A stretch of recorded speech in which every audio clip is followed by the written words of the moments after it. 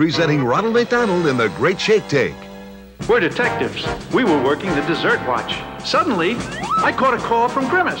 You gotta help me, Ronald. He sounded blue. Uh, I thought I was purple. I asked him what was wrong. While I was sleeping, somebody took my McDonald's shake. Now that's serious. We hurried right over. Okay, Grimace, what happened?